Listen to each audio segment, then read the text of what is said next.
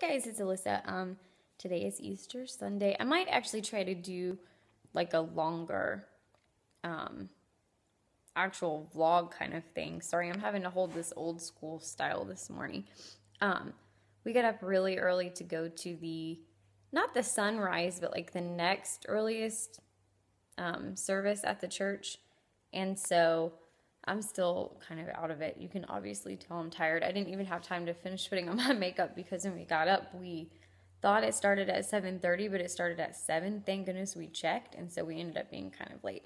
But I just wanted to say happy Easter if I don't do another vlog today. And um, this morning when we got to church late, we drove separately, so Andrew ended up sitting in the back by himself, and then I got there just a few minutes after, and it was already full, so I had to sit on the whole other opposite end of the church with some people I didn't know. Thankfully, they were really nice, but um, it was just kind of funny. It was typical. And then afterwards, we went to McDonald's um, because all the other restaurants here are already like packed with reservations or people coming in to eat um, Easter meal with their family and stuff. But there was a really angry um, homeless guy there. I'm not exactly sure what was going on with him but he was mad because like one of the lines wasn't open and he kept brushing up against me and like brushing his hand up against my butt. I don't think he was I mean maybe he was aware of it. I don't know. It was really weird. And so I wasn't um like annoyed or anything, but I was kind of just like really like this is how Easter's going to be.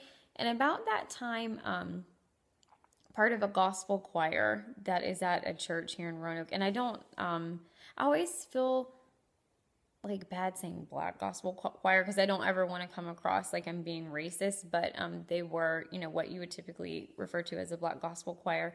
And they had the most beautiful outfits. They had these black, um, kind of, they were almost like a dress instead of a robe. And then they had a, like a gold sheath down the front and the back, but they were beautiful. And they came in and I just saw them like laughing and they were buying those, um, McCafe, kind of like the McDonald's version of the Frappuccino.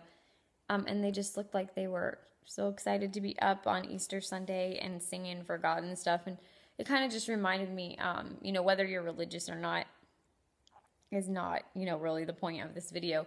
But it just kind of reminds me that God has a funny sense of humor sometimes. And, um, you know, for those of us that do believe in God, like the whole, you know, obviously the whole point of Easter is that he kind of had the last laugh on Satan and the people that persecuted him by rising from the dead and everything. Um, but I'm not like trying to preach or anything. I'm just telling you that's, you know, what we believe.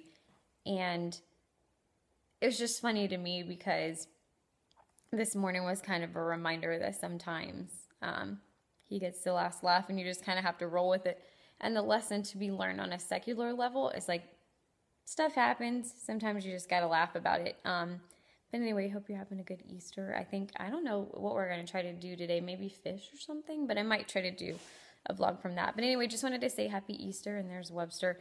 I, um, he's conked out. We stayed up too late. I had an Easter party Friday. And as you can see, like in the background, there's still some crap out from where we're in recovery mode. But I hope you have a wonderful Easter, no matter what you believe or who you worship or anything like that. I hope it's a good one, and I will talk to you um, tomorrow.